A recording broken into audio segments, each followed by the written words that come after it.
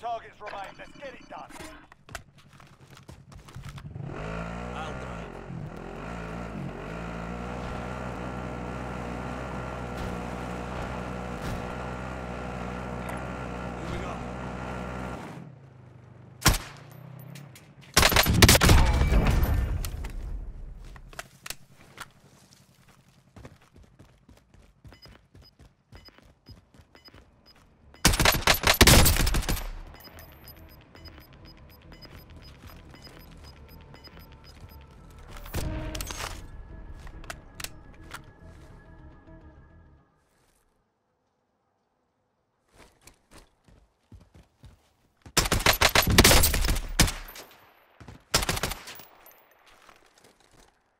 Ready for fire.